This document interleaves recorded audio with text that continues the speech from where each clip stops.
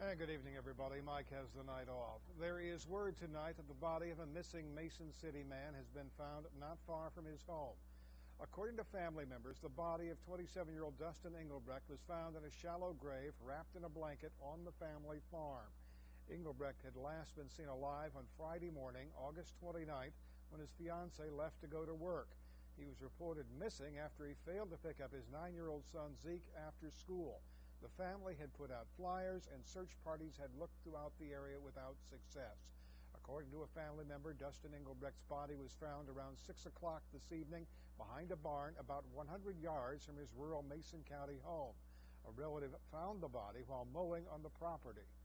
Mason County Sheriff's Office and the Coroner's Office have sealed the road outside the home.